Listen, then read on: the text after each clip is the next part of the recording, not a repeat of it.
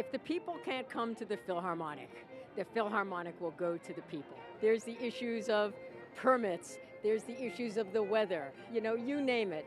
But, you know, the spirit of the musicians and the spirit of our audiences and the love of music, it's there. Music, whether it's pure music, whether it's opera, it always tells a story and it threads together all of these different human emotions. And this project has allowed us to do that in ways we couldn't have imagined.